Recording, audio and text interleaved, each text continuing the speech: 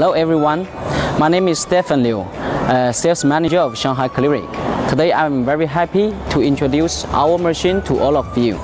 Firstly, let's check. You know, the whole line of this machine we call HGM80 micro powder grinding mill. Uh, there are also many different names from many different customers, like the ultra fine meal, super fine meal, the grander, many. Uh, but uh, the working principle and the thing is the same. Okay, now let me show you the every parts. The first part is the crushing section, the crusher. Normally we will use a hammer crusher. If, if the feeding size is smaller than 300 millimeter, then we will uh, use a hammer crusher will be okay. It will crush the material to be less uh, smaller than 20 millimeter.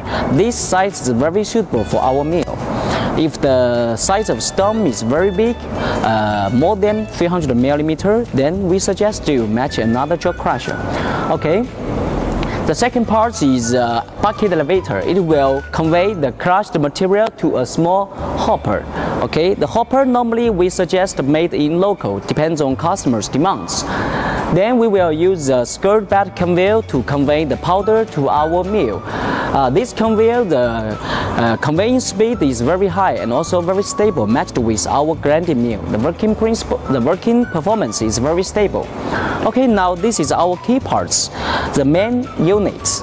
Uh, this design is different with the traditional Raymond mill. Uh, we have different layers, uh, many layers. We have three layers to four layers. When the material go fit inside our mill, it will be crushed to be the sand or the coarse powder.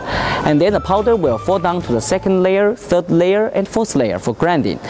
Until it reached uh, the required size, it will go go up to the uh, classifier passing through it and then go inside the uh, bag filter. This bag filter is used to collect the finished powder.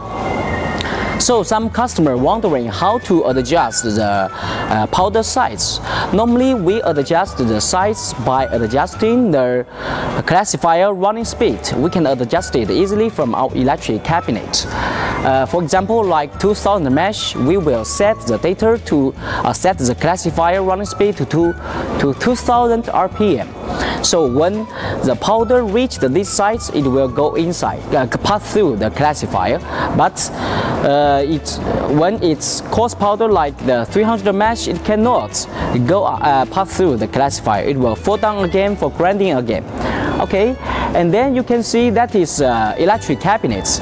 For electric cabinets we have many types like the driving way uh, like the controlling way. We can choose a PLC control or the traditional standard control. Uh, the PLC control can make the one key start and one key stop um, which make the fulfill line working automatically and very very smoothly we also suggest the customer choose different inverter for inverter normally we choose a standard uh, our standard uh, brand is uh, Taida from Taiwan brand. Another is another is ABB. For our electric drives, we have the CHINT. This brand is very famous in China. Also, we can choose some international brand like the Siemens and ABB. Okay, and uh, let's see the bag filter. Our bag filter is parcel type, uh, parcel type separate offline. We set offline.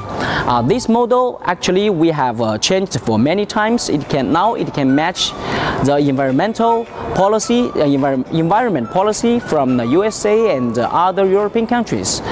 Uh, so for this whole line, uh, this machine, the advantages is it can easy to adjust the output size.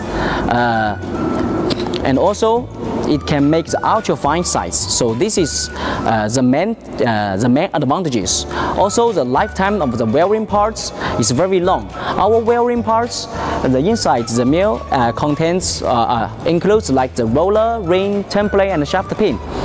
Uh, we have uh, two type of material like the alloy steel this is a standard one uh, this material is has high toughness and lower hardness uh, it's very suitable for like the uh, Mohs hardness less M6 like the calcium carbonate.